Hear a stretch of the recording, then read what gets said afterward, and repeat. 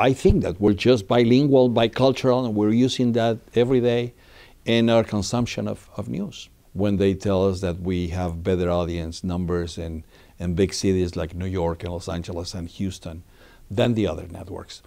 And so, but, but that shows you also that people want to hear what we have to say and they, they're interested in the angles and the different angles that we're, man, that we're using every night in, in our newscast. We're watching Spanish language and we're watching a telenovela uh, in Spanish, but we're also watching uh, CSS, uh, CSI or, or any of the other programs or Big Brother or whatever is, uh, is on, on, the, on the English language television. And we also read the New Herald and we also read the Miami Herald at the same time. We're not isolating ourselves, we're not living in a bubble.